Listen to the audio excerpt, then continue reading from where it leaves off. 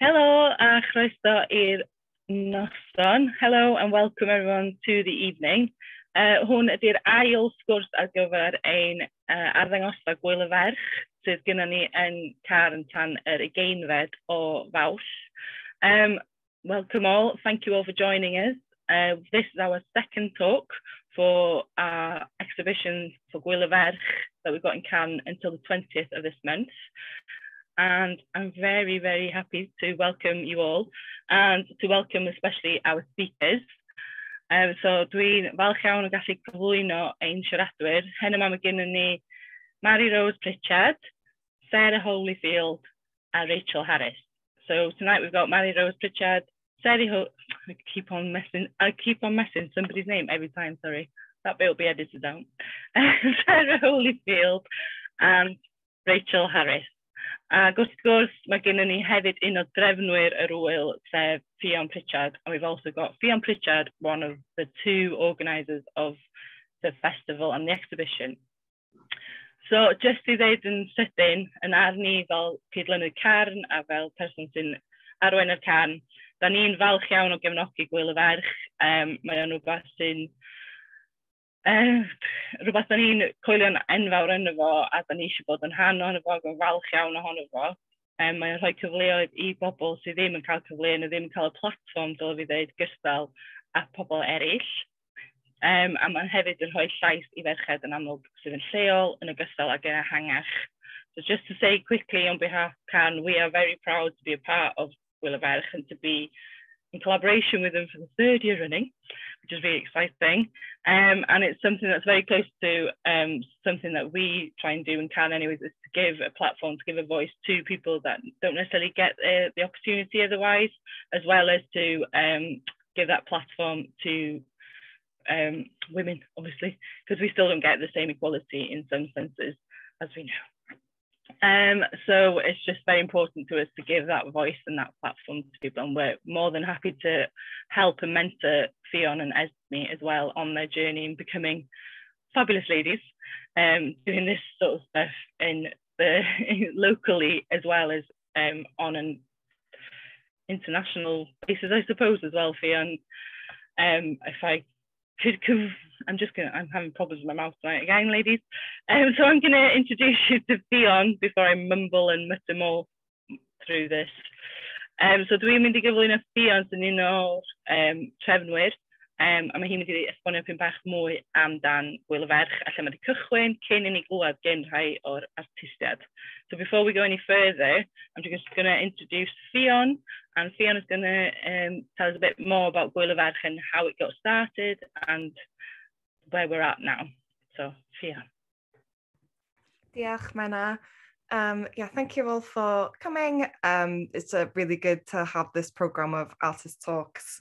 Uh, and it's something that me, me and Esme are learning so much about um, the practices of our exhibiting artists um, through doing this type of thing. So um, chydig bach o gefndir, uh, mae Gwyl y Ferch yn fenter cymdeithasol, uh, gafodd y gychwyn gyda fi a Esmi yn 2019.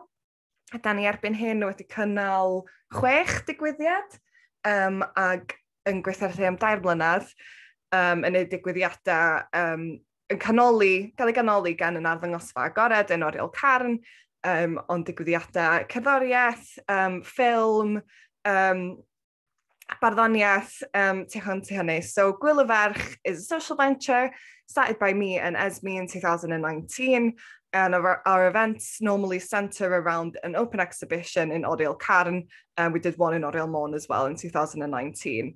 Um, but offshoots of that we do music events, film events, poetry events um, and a poetry anthology every year as well. Um, so third year running, and um, we're really, really happy to be back at our home in Oriel Carn uh, again this year. Um, so I'm going to share a quick little video, um, just more information about us. This is like a little trailer thing. So I'll, I'll share my screen um, and we'll, sorry, bear with me. Where have I put this trailer is the question. Ah, quick time, there we are.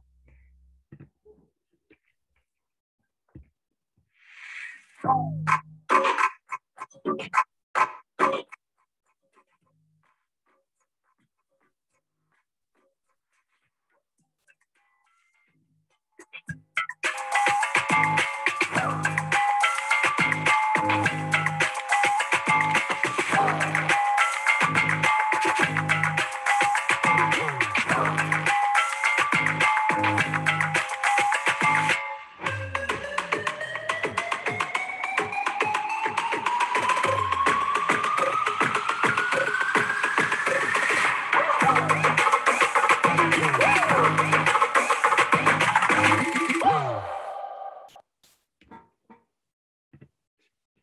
That's us.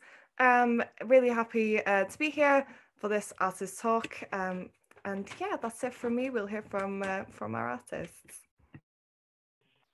Yeah, Ffion. Uh, thank you, Ffion. So, yeah, I was saying to Ffion earlier, in that little tiny snippet, you get to have just a taste of what Will of is about and all the work that they've done. And well done to Fiona and Esme because they've done brilliant stuff um, throughout the years. And uh, yeah, keeps on getting better in a way, sort of thing. So, diolch um, So, anyway, without further ado, uh, we're going to introduce you to the artist and start hearing from them instead of hearing me muttering on. Um, and if you do want to ask questions, please do so out loud after Marirose has finished talking, or uh, you can more welcome to put things in the comment or chat, the chat box as well. Um, so I'm going to stop messing up what I'm trying to say, and introduce you to Mary Rose Richard. Uh, diolch yn fawr iawn, Mary Rose. Wel, diolch, Mena, a uh, diolch, Fion. A croeso gynnes heno. Uh, very warm welcome, and it's very nice to see faces on screen, some familiar, some new, and uh, hopefully some yet to meet in life. I have exhibited in uh, the Festival of Gwyl y Ferch at Carn uh, for the second year uh, this year, and I submitted some drawings that I had been working on. Uh, drawing for me is a, a, continuing practice that underlines most of everything that I do. And it, in a sense, it is very much part of my subconscious when it comes to understanding where I'm at with ideas, with the rhythm of the work that I'm involved with. So at any point, I feel I have to return to some element of drawing. And the drawings which are hanging up in Carn at the moment are hanging face to face as though they are inviting you to uh, move either to one or the other. They have a feel of gravity about them and they have a complexity that makes you both stand back from them and get up close. I will share some images with you now and explain further what I mean. I'm going to start off with uh, Croth Radius 5 and to give you a sense of scale, I'm just going to quickly skip to the next image. So that's me working on the uh, Radius 5, the Croth Radius 5, and this one is Croth Radius 6, Radius Where. So if I can just go back to the first one, these drawings are a meter square and I specifically chose to work within a square format as I knew I wanted to work within a circular motion. And it is this movement that, tend, that dictates really what happens next. And in, in the practice itself, I'm very much following the principles of uh, painting and how artwork develops, where you lay a mark and you respond to that mark as a consequence and subsequently uh, include uh, marks over and over and over to create this uniform composition that has a harmony to it, that has a rhythm, and also try to finalize what the overall concept is. So, in some respect, I know what I want to achieve, but quite often the marks that I make, certainly in the early days, are perhaps not the ones that I had in mind, but they lead me to create the marks that follow through. And certainly making sense of the balance between the light and the dark, the intensity in areas, the lightness in others is very much part of that drawing uh, mechanism, drawing rhythm that uh, helps an image like this evolve. So the sister drawing to this, which is Radius Huer, is what I interpreted as it developed the inward looking drawing, whereas uh, Croth Pimp, the previous drawing, was the pushing outward. There were various comments over the few weeks where some of these drawings have popped up, and I've met people in the gallery while they are talking in front of these drawings. Um, there's lots of connections as to what they can inspire somebody to read as to what they are. I gave them the title of Croth, which is womb, because I felt that the energy that is part and parcel of that whole creativity, which is passed down through generations and generations, uh, is part and parcel of that evolution and the way the drawing evolves in itself.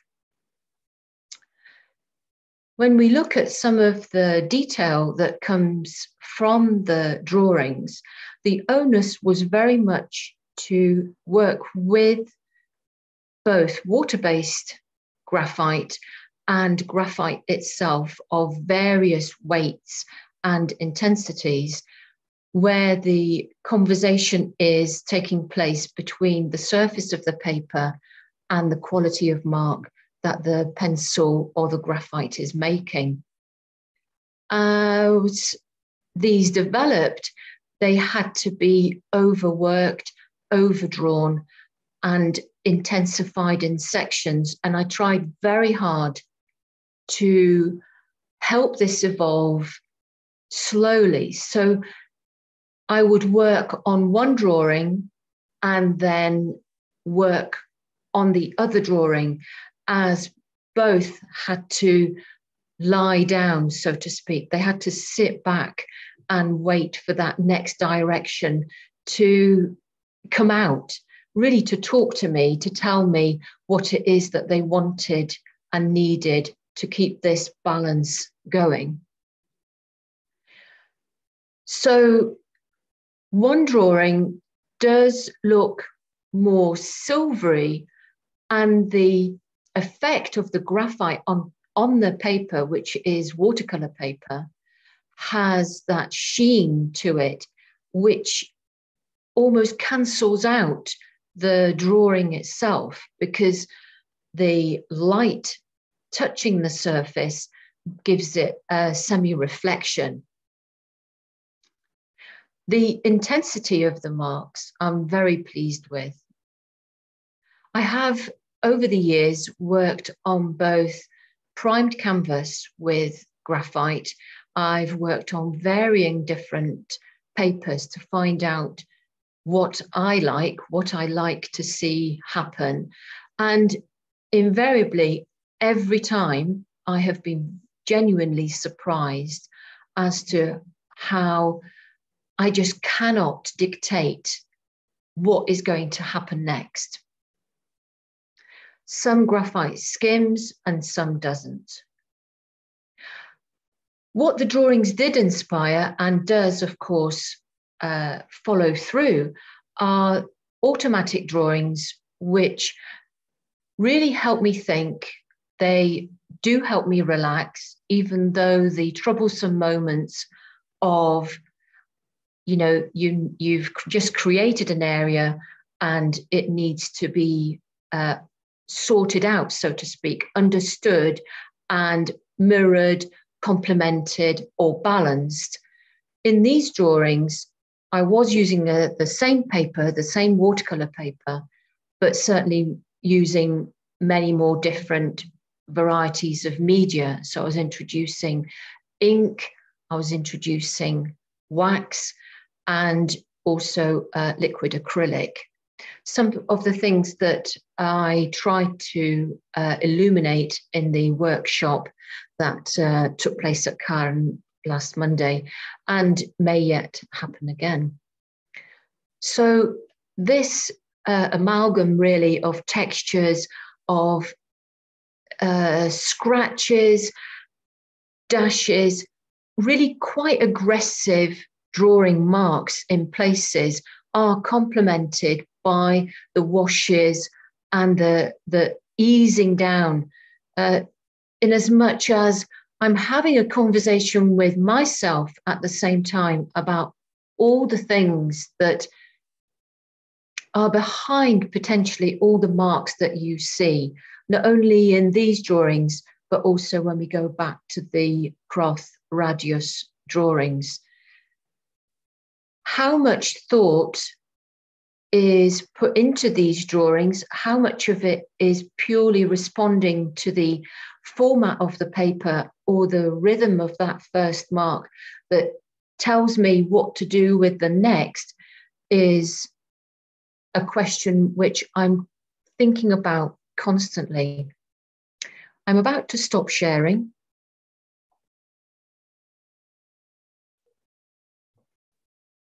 And in as much really without starting to draw and let you see how these drawings develop, um, perhaps this is a good time for me to pause. There is a lot more to say, obviously, but we may come to that. Thank you, Marirose. Um, yeah, another ddifyr. It it was fascinating, and it, especially as I said to you the other night, um, when you were doing the drawing club, it was yeah, it was really interesting to get to see what you were using and getting to see how you got people to do the certain marks and how they, you got them to to work in your same way in a way, or at least in the same manner that you that you tried to do these works with. So it was quite interesting, and to see their responses, it was mm. it was really, really interesting. They were all very different, weren't they? And what yeah what they achieved during those two two hours. Um, I do not know if anybody has any questions or comments that they'd like to do. Please say so now, or you can put something in the chat. Anybody else? You can just say things out loud if you want, anybody. Hi, Jen. Hi. Um, can I ask, what, so when you're starting to do a drawing like this, do you have um, what is your go-to media? What would you start with? Do you start with a pencil or you've got a favourite um, graphite pencil or mm. something that you start it with? How do you start it? So uh, I know that personally I like to work with uh, with all sorts of things. So in a sense, I've got my own um, my own dictionary of things that I could start with. So I could either wet the paper first arbitrarily and then draw into it and see what happens to the marks as they just catch uh, drops of water or areas of dry paper. So that then tends to give me some feel of the sort of sweep that I want to create. Most of the things that evolve tend to have some link between the outer frames. So they either uh, cross and come out again, or they curve and sweep. So really, as drawing, as drawing goes, it's just trying to feel that freedom on the page. So whether I start with water first or add water afterwards, or involve um, you know, water soluble graphite. Uh, I like to use calligraphy ink because I find that it has a really lovely, rich density of black, really, which can contrast so well with any uh, wash patches or any light marks of pencil. I really do like to use the pencil to its extreme so that you know, it's capable of doing both the extremest light, extremest dark, and everything else in between. So I think it depends just on that moment as to what it is that I'm about to do first. And then consequently, there's an awful lot of, oh, okay, so we need to readdress this bit. So perhaps, you know, I need to take the surface of the paper off, or I need to put that new piece of paper on, you know, in patches as though collaging the white spaces again. So it's, I see it, for me, I see it drawing as painting. Thank you. Thank you, Jenny. I think Julie wants to say something. I do. I have my yellow hand up. You, you have. Hi, Julie. Long thumb. Um, I was just curious, uh, like in listening to you talk about the studio practice that you have of, of drawing. Um, yeah, especially in this series of your work, a lot of it is a lot of it is drawn out by the installation of it, like this epic size, this facing each other. Is is yeah. that in this case was that kind of part of your original intent with the series, or did you just get drawn into the creation of the work and then think about it afterward? Because they seem so closely tied in in this in this series. I was just wondering how your thinking was as it developed while you were working on it. So the two drawings happened simultaneously. I I knew that I wanted to work with a circle.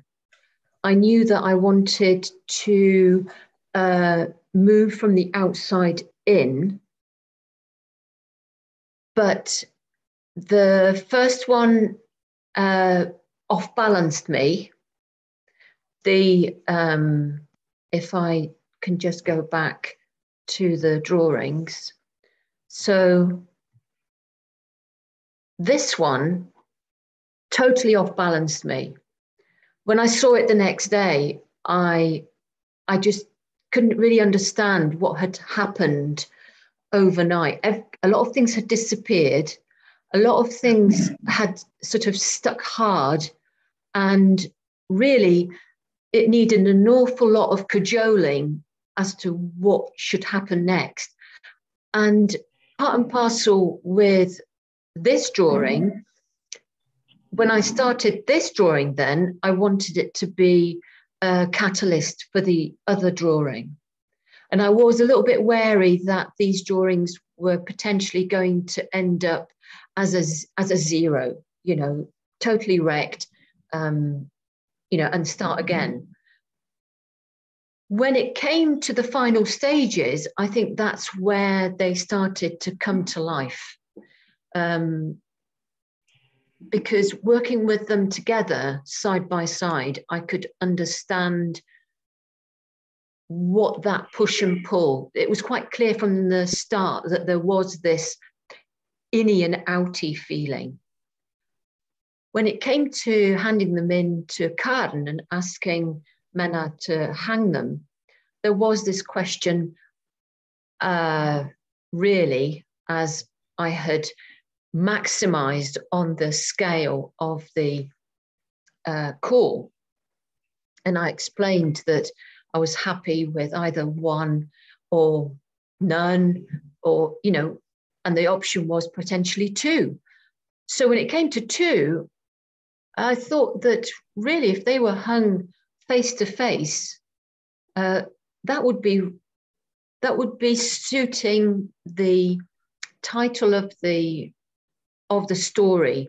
Really, caught in between two uh, potentials, you know, two wombs, if you like. You know, we're talking about two. Um, you know, you're looking in and you're looking out. You know, I, I quite like that. I quite fancy, you know, yeah, a whole tunnel. Yeah. Things like that. Does that answer your question, Julie? Yeah. Yeah, thanks. It just seemed an important part of it, the, this part, and I wondered where, where and how that came that came up. Thank you. Yeah, and you definitely get that feeling when you stood there between the both of them as well, because they are literally on both sides, and you do feel engrossed in, in a way, don't you, in between yeah. things that yeah. to the Does anybody else have anything to say? Yes, somebody else. Car, got you. You've got oh, your hand up. Hi, Car. Hi, can you hear me? Yeah. Loud and clear. It's lovely to see you and really, Lovely, really lovely love to see you too. the drawings. I was just wondering, um, you mentioned about uh, there was a, the number five and the number six, and one was cross, which you They're- said woo. Yeah, they're, they're both cross. oh, they're both cross. You mentioned another Welsh word when you were talking Radius, graduate. rad- Oh, radius. Yeah, yeah. So they're both cross.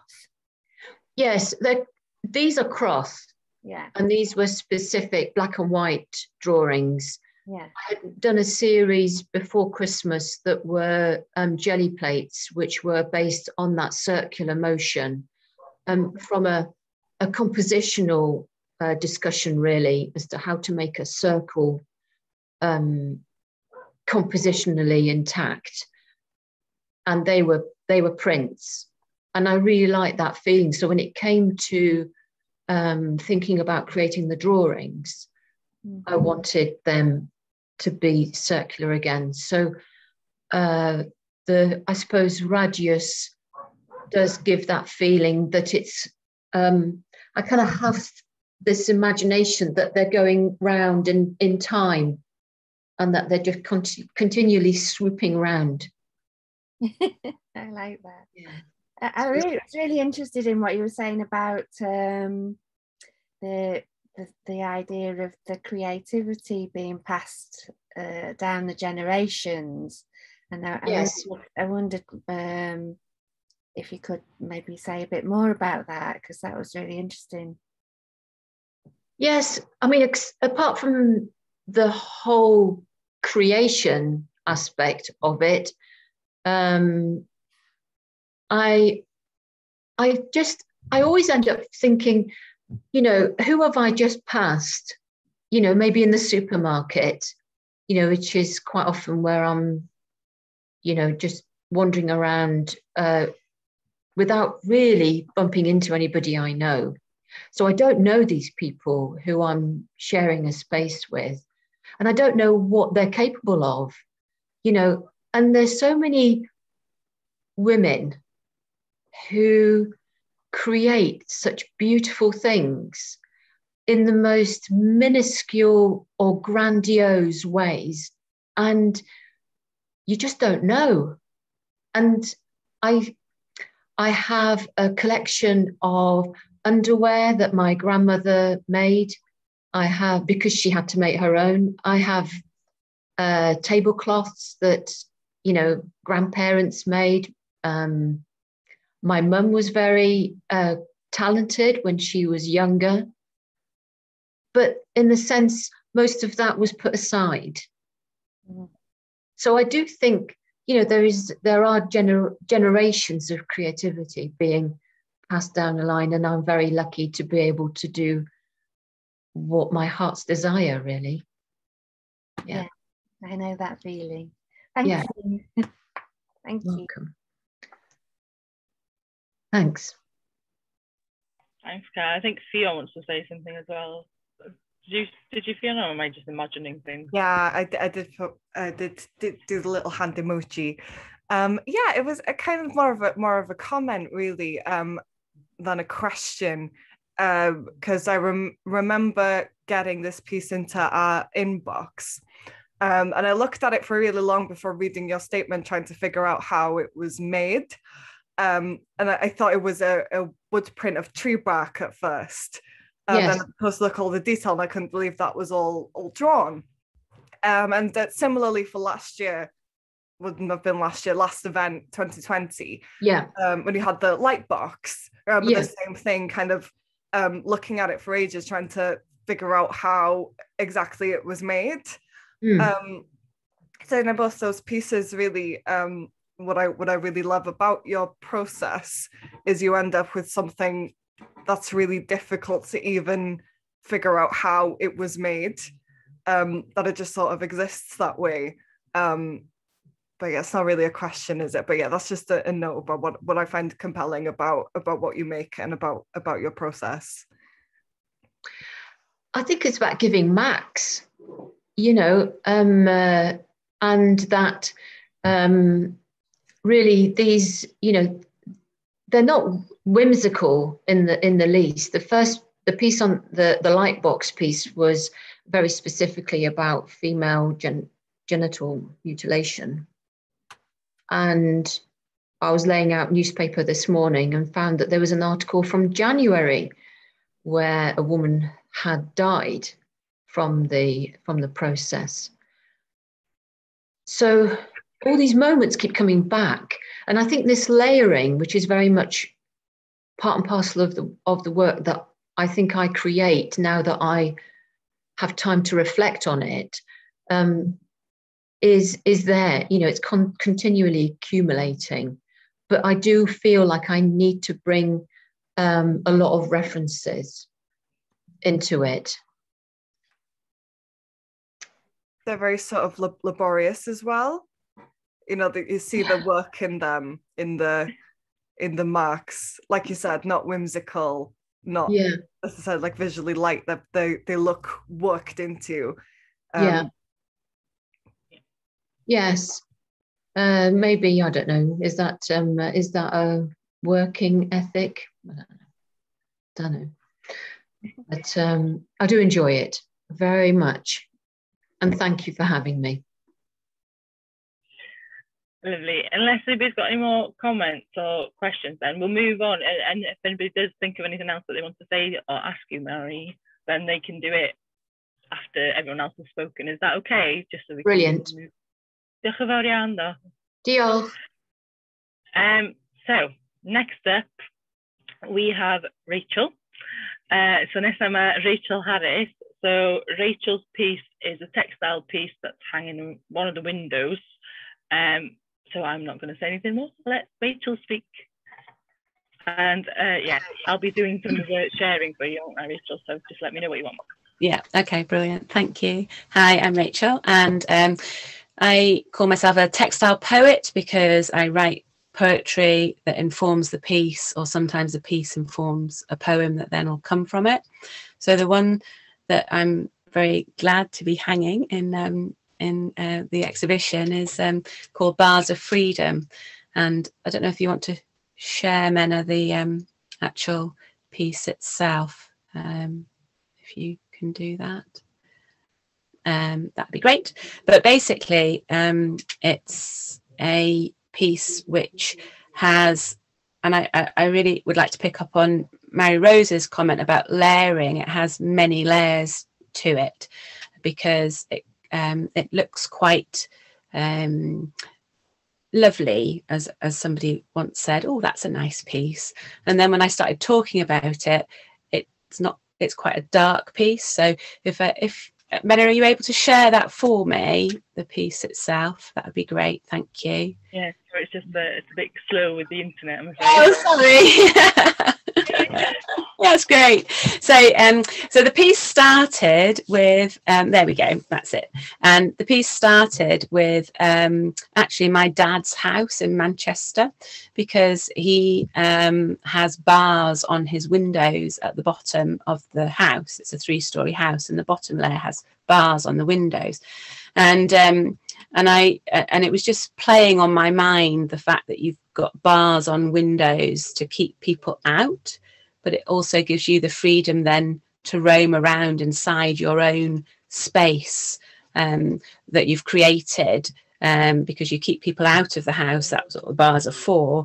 And it allows you the freedom to feel free to wander around the house, safe within that sort of um, uh, that that space. And then I kind of looked at the fact that we do that a lot with our own souls.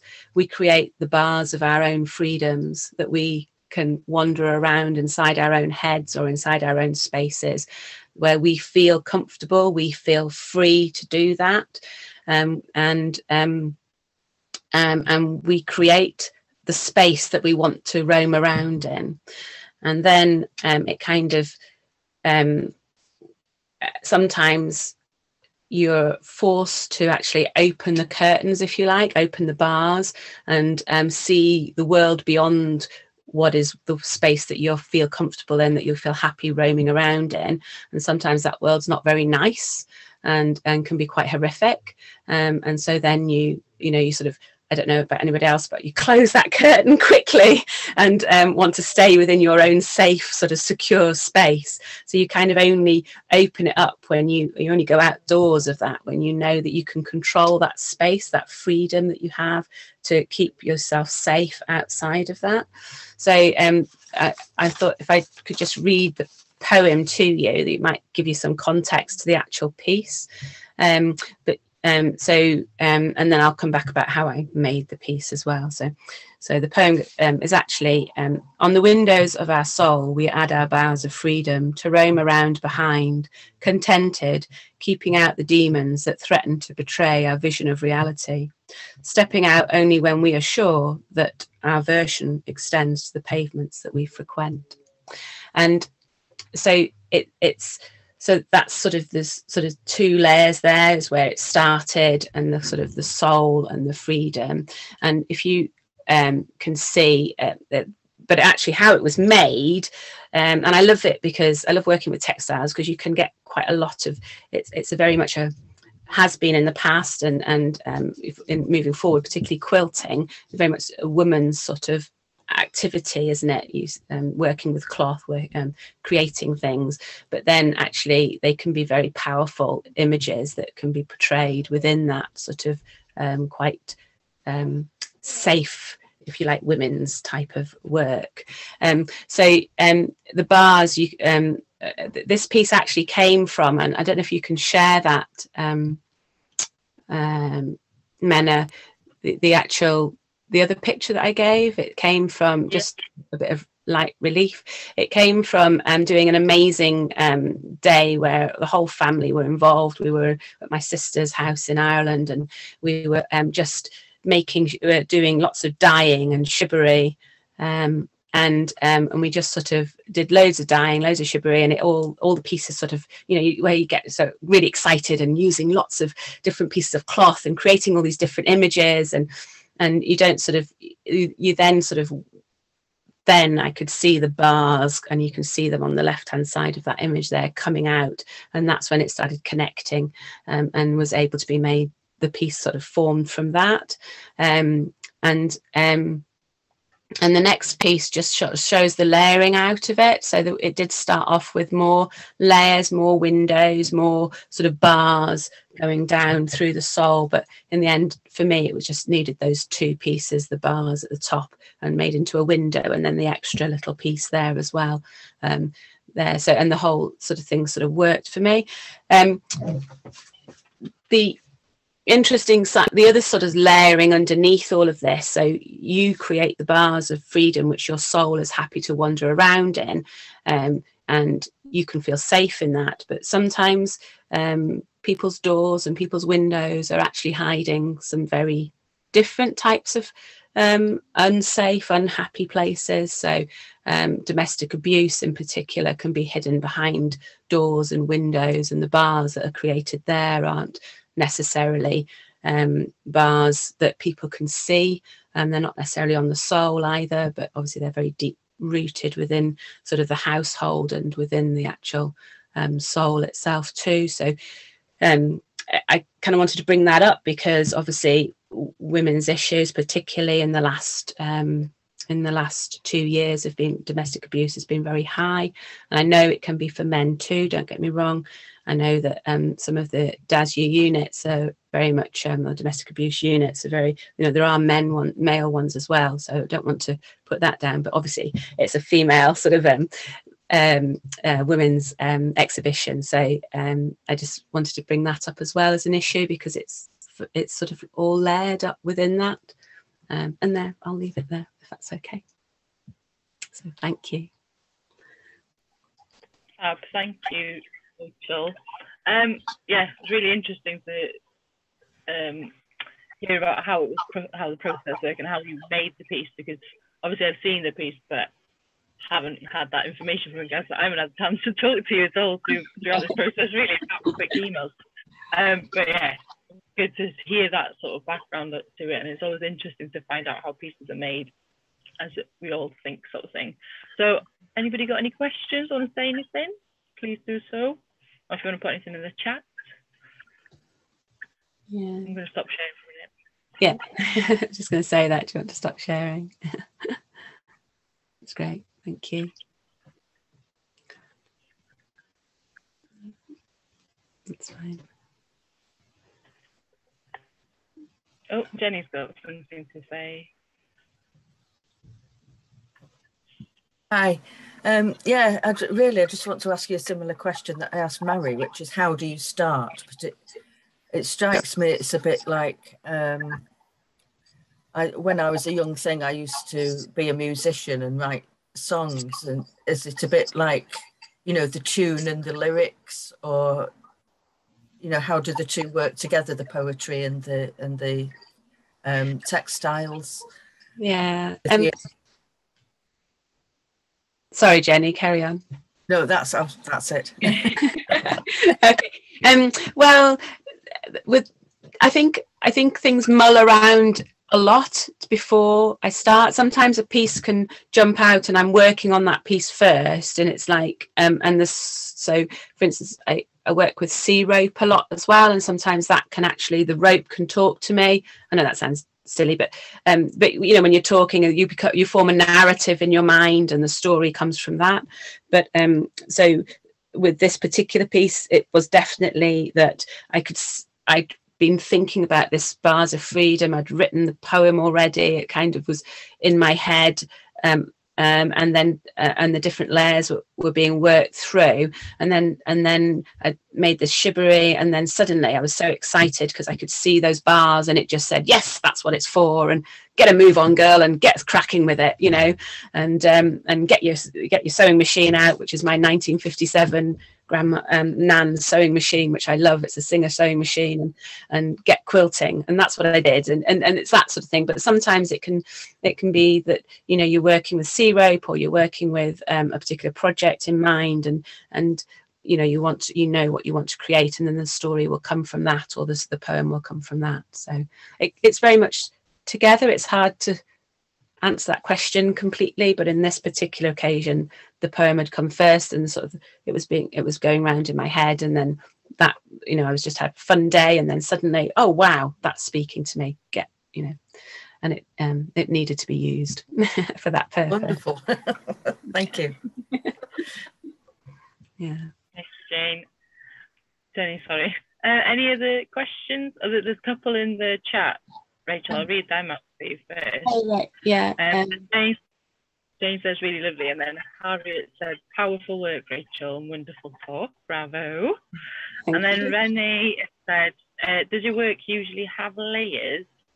And have, does those layers have any meaning? Yeah, I think um, yeah, de they definitely have layers, lots of layers of meaning, and sometimes the layers will come out in the actual piece. Um, um, that I'm working on, but often, um, so, you know, if you're making a quilt or a quilted piece, you kind of, you know, it's there to be looked at as a piece, um, but it also has a lot of meaning behind it. So the other side of that, I don't know if you noticed, but when they were hanging up um, the two main pieces of of um, uh, uh, of um, dyeing were hanging up. There was one side was obviously the piece that was going to form the bars of freedom, but the other side was all these wonderful um, sort of circles that had been created on another piece where I tied some um, uh, stones in around it, um, and that so yeah, so the piece there, and it almost looks like um, jellyfish or stars um, Shining, and that piece actually much later on, um, when my friend's nine-year-old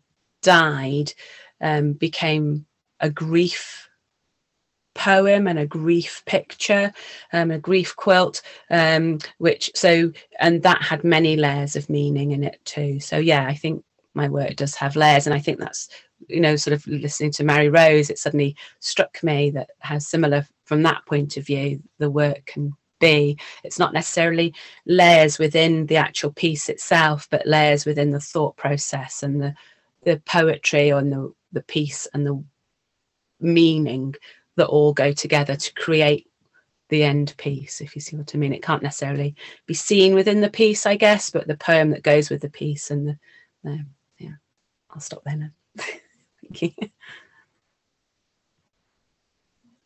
Does that make sense? Sorry. Yeah. Yeah, lovely. Thank you. Um, yeah, definitely the layers. Yes, there's, there's that context between that bring um, your work and Marirose's work uh, to sort of join in a way, or that there's are similarities, that there are layers, different meanings to the word mm. layers that sense, isn't there? Mm. Uh, okay. Does anybody else have any questions or comments for the time being, or are we happy to move on? Okay, we'll move on, Rachel, and then obviously yeah. if there's any more questions, then please do ask them or make any comments. Rachel. Okay, so last but not least for tonight, because as I said, Wanda can't make it tonight, um, we've got Sarah Holyfield, and Sarah's got an installation piece, really, I think is the easiest way to say, isn't it, Sarah? Um, it's got some text piece and that's been on printed on fabric and then a sound piece to coincide with it. I'll let Sarah speak for that. Okay. Oh, thank you. I am going to attempt to share my screen. Um,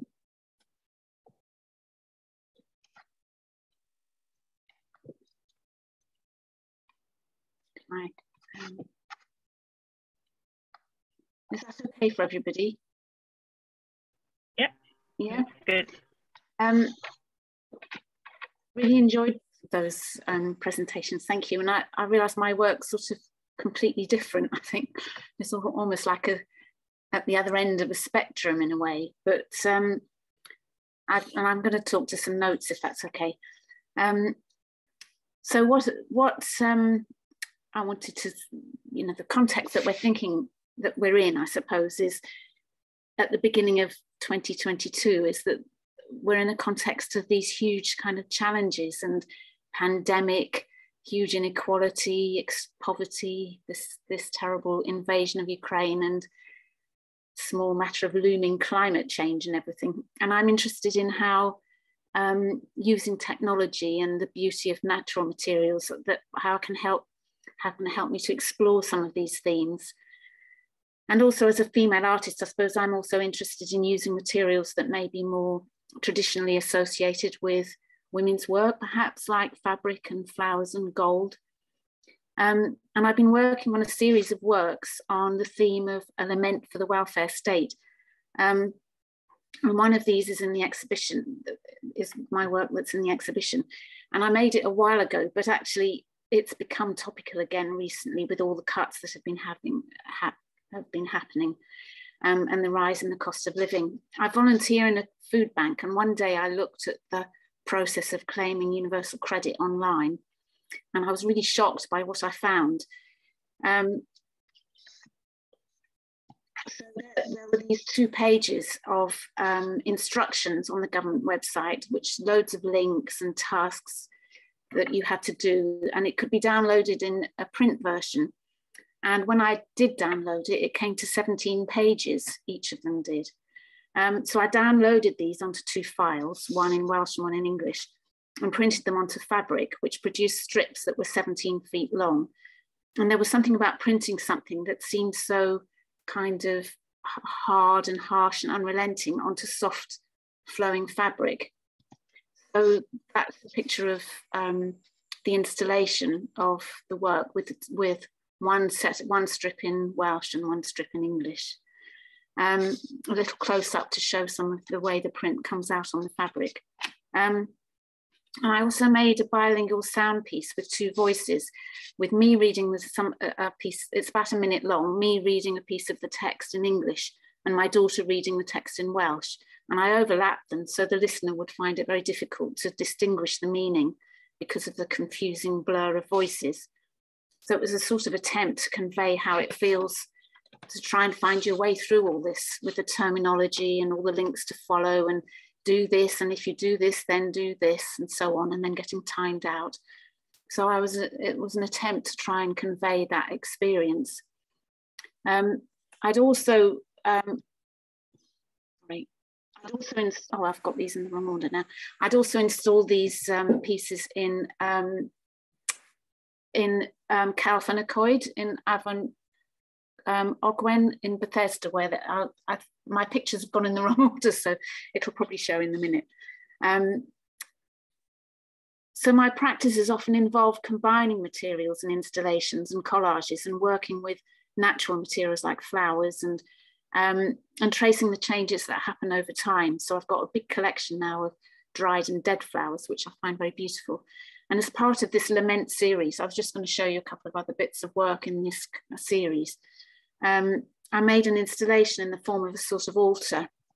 And um, I took those, the file, those two files um, of instructions um, and made a photo montage of those with dead flowers and displayed them above a table, which was covered in this white cloth and vases of dead flowers.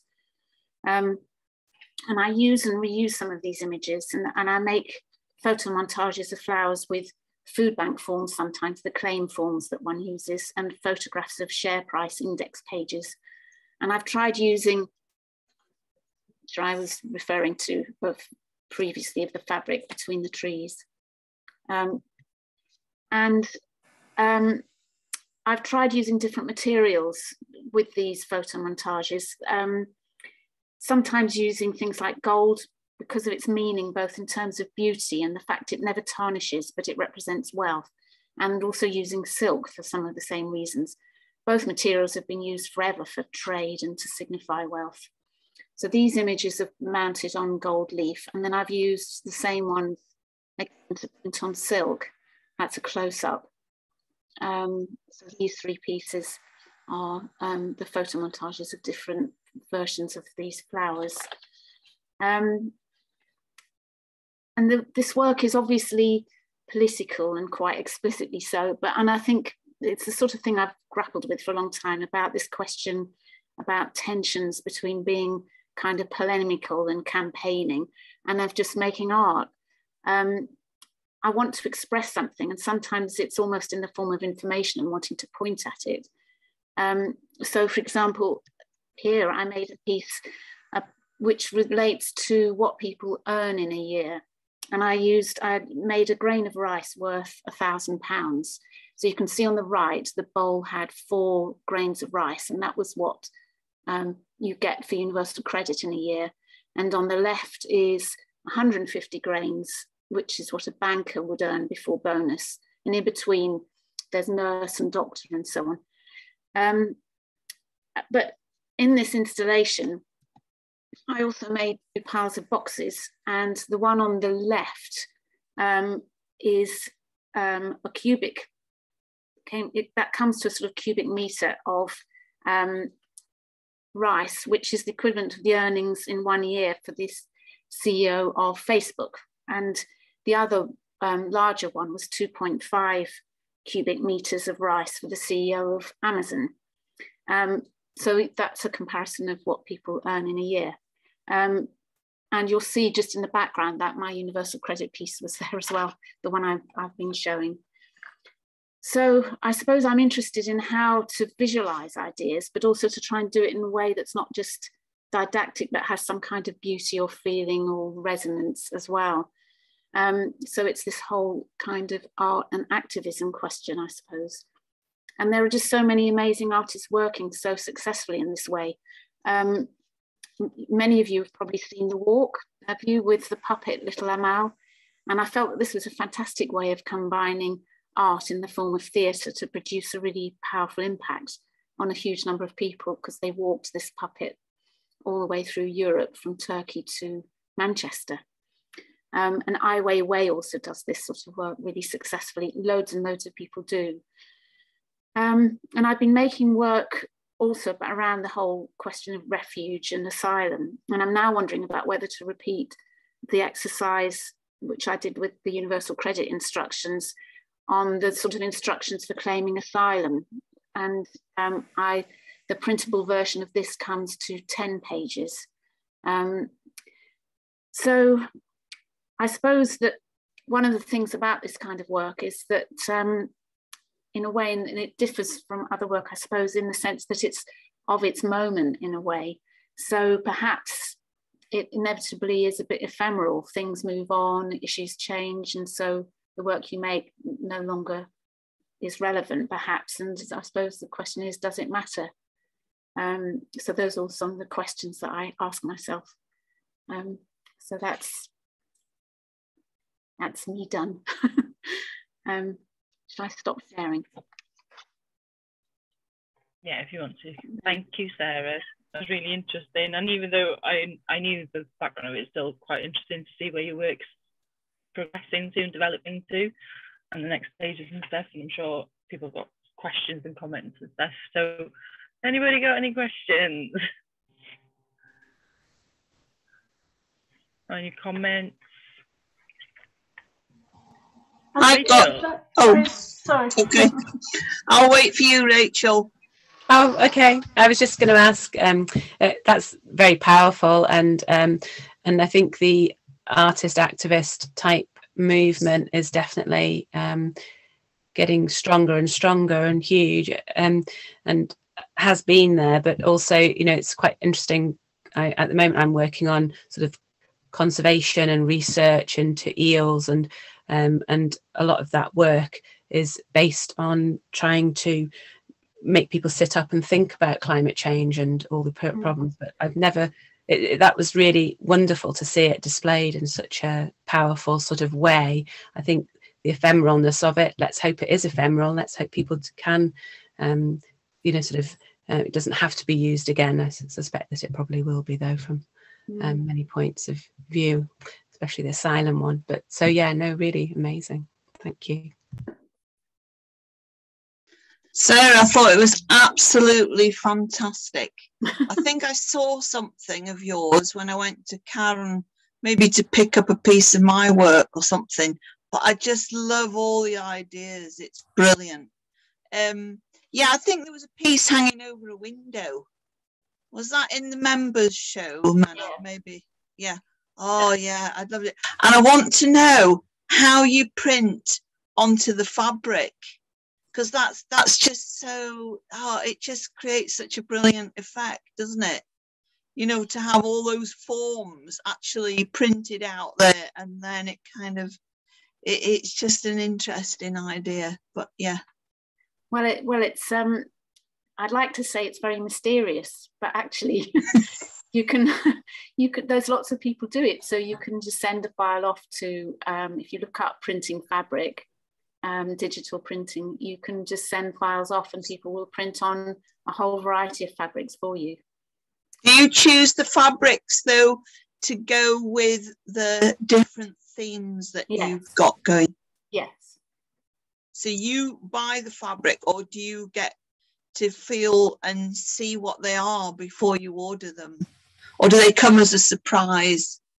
oh no what you can do the places I've, I've used a number of places and if anybody wants um, references I can, t- I can I can let you know but people will send out samples so you can send off for us um, a pack and then you can just pick you can go through and work out which one you want there's lots of information online they are i'm it's been such a discovery it's been amazing yeah it really works so brilliantly mm. with your ideas but absolutely loved it all yeah, thank you very much. Oh, thank you. Thank you. Yes, Jane. I think Shan had something to say as well. Did you, Shan? Yeah, really, it's just saying what everyone else has said. It's very, it's very powerful, and I think um, you know, seeking that combination of um, you know the, the, the strong uh, political voice with something that's with art and activism, I think it's what you said, so that you're drawn into the um, the beauty of it in a way. Because I, I, saw it in Oriel Mon, and I think I I just went to look at the silk, and then you have a kind of shock when you realise what's actually printed on the silk um, and the grains of rice. And I think they make I think they're even more powerful for that because of that um, um, element of art and interaction and um, I don't want to use the word beauty again, uh, but you know because they're ple- they're pleasing in a strange way, uh, but then that's that's what draws you in, and then you get the, the power. And I think I think that you're right. That's an important impact. And you know, I was just thinking of the asylum claim one because that was on the radio today about how people are trying to fill them in on their phones in a car. Yeah. yeah. And, you know, then they got to Lviv and the office was closed. They had to do it all again. You can only go to two centres, they're only open three hours a week. It's just appalling. So I think, um, yeah, you brought it right up to the minute. Mm, thank you. Thank you because there is a thing isn't there about how because you can you can be kind of campaigning and say oh look at this is terrible um, and that doesn't necessarily that's not necessarily um, art if you know what i mean and it's sort of wanting to somehow there's something about wanting to make like you say to draw somebody in with something looking attractive to look at and then finding something else there I, no, it doesn't have to be something horrible. it's just that there's quite a few challenging things around at the moment, aren't there? That's quite interesting on that point, though. Just before we go to Julie, because I know she's got a question. But um, there's the way that we've installed it, and the way that you wanted it to be installed is that it's pinned on the sides, isn't it, in a specific place on the document yes. because it's got a really well, slightly it's basically disgusting and harrowing sort of well it, has got a bit one of the sections quite near the end it says because it goes through if you're this if you're that and all these sorts of things you have to do and then it says if you have a terminal illness then do this and then you read a bit and then it says if you've got less than six months to live do this. If you've got more than six months to live do that. Well you can see from a practical point of view perhaps they need to know the answers to those questions but imagine having gone through all of that, like you say, on your phone or a not very good connection. Um, all of that, it's kind of, it's, yeah, it's it's hard. Really? Yeah, in case something context. It just struck me in the end when you were saying like, okay, all this information will change, so it's a very fleeting moment in it. But I think it's a powerful gesture to take this this document, which is internet based, which could change at any moment. And yes, there is some like action to archive the internet and all of these things, but I mean, who's gonna who's gonna pay attention to that? I mean, who keeps that information and where? Um, but just as a small gesture of translating that entirely ephemeral document that severely affects millions of people's lives and making that a, a real thing that has length because you never see length no. on the internet either. And just like the action of of removing that from a digital space putting it in in a place. And it also just is a is a kind of defense against that shifting baseline syndrome. When if someone comes across that in 10 years and says and, thinks that the problems they're having are new or thinks that something that society has come across is a new problem to be able to go back and be like oh shit like we've done that before. Like we haven't fixed anything. Or like just making history tangible in that in that way for at least like the scope of that material i think is really like powerful and kind of sets that document off on a on a different timeline than something on the internet might. Um, that, that's really helpful. Thank you, Julie. I hadn't thought of that actually, about the fact that it was, I mean, I had I'd thought about trying to pull the document out of the computer and see how big it was, kind of thing. But then to actually make it and then realize actually it is a sort of archive. I hadn't thought of that. And the other, the other bit about the digital side of it is thinking about this printing is the only way I can print it on fabric is from a digital file that I have to send over the internet to someone who has a computer and will print it as a file onto their fabric. And then you end up with this beautiful silk. it's kind of, the whole thing is full of contradictions. That's what I'm, I find intriguing about it. Yeah, and then the documentation of it is again a digital file and most people will come across it as the documentation and you enter that loop of like yeah. two dimension three dimension zero dimension real digital digital real and now we're talking about it all looking at each other in these little rectangles yeah i was just thinking i was like we're, we're just digital unfortunately Yeah. But also, sorry, um, the fact that you're putting it on cloth, which yeah. is something that we have to we have to have. We have to clothe ourselves. We have to. It's been utilised all the way through generations and generations and generations. Bringing in Marirose's point about generations of art is, you know, we it, it's something which is so base a basic need that some of these people don't have even and to put it on and make it look beautiful and like the silk and um, and and and the cloth and then to actually like somebody said I, I, love the fact that you go up to a piece of cloth like that and you think wow and then you suddenly are confronted with that with that mm-hmm. horror as well you know it's sort of that that was just, i think cloth textiles are such a powerful yeah. medium for that type of information yeah that's another contradiction in a way isn't it because the idea of universal credit and giving people is actually a, it, the idea is a kind one giving people enough to live on. It's just what's happened. There's something about the whole process that's gone horribly wrong. Yes and, and it has sort of become inhumane. Something that started off as a humane idea has become inhumane somehow. I mean, I'm quite interested now in getting into stitching more actually, which sort of feels like a kind of a bit like you've been doing, but this sort of that kind of moves it away as well from it's like that kind of collision of things. Very mindful stitching as well. but I really, I really, um, I loved your drawings, Mary Rose. I thought, and it was funny because your drawings right next to mine, and there was something strange. I can't explain it, but I felt like they fitted well together. The, there was something about the way the fabric fell and it being black and white, and there was something about it. Anyway, I can't explain. But um, I think uh, I, I'm I'm a little bit uh, overwhelmed by the amount of thinking that I'm doing and the amount of um, linear paths that are being created tonight mm. you know mm. that can be extended and intertwined or they veer off and then come back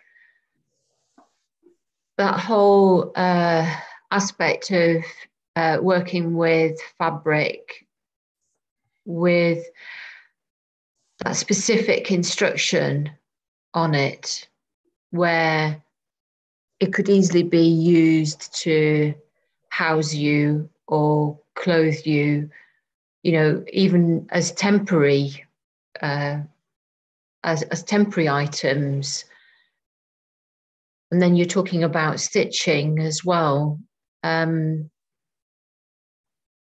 yeah, it's very, very powerful. Just the whole imagery of it, uh, this sort of uh, uniting, you know, in the stitching, but then in the same time, you know, as in filling in the forms to gain, you're also losing a little bit of yourself mm. as well, in that every needle makes a hole in, in the fabric. So you are, you know, how much of it is giving you what you need and how much of it is taking away a little bit of who you are yeah. as, as well so and, and that's really what that whole process really brings to my mind is um, those things that are out there to give you um, are also taking a lot away from you as a as a person as a unit as a uh, important human. I suppose it kind of raises the questions like we're today we're confronted, aren't we, with this whole thing about asylum and refugees um, trying to get more visas and things. But there's something about the idea that we can do something kind and humane. We could do this in a kind way, and what would that be like? If you see what I mean. It's... Yes, I think it's difficult to, not to patronise, isn't it? Mm it's difficult not to point out the worst of of it all really. Mm. yeah. Yeah. There's some really good conversations happening. Yeah, and there's a, I think there's a lot of conversations where they could go on, we could go on and Yeah. tangents as as happens quite often in these talks, and it's great, and it's great to have the opportunity to be able to give you those opportunities to connect Mm. and to possibly think of more ideas for the future, and yeah, help with developing it further and thinking of it in different ways as it did for you then, Sarah. So unless anybody's got any more comments or questions, and this can be for anyone now, this could be regarding anybody's works or the exhibition overall or Gwyl y Ferch or whatever. Um, I don't know if anybody has anything to say. Otherwise, uh, in the meantime, I'll just say my little spiel for next week's talk, um, just in case any of you do want to think of something. Um, so yeah, thank you to all the speakers that have spoken tonight.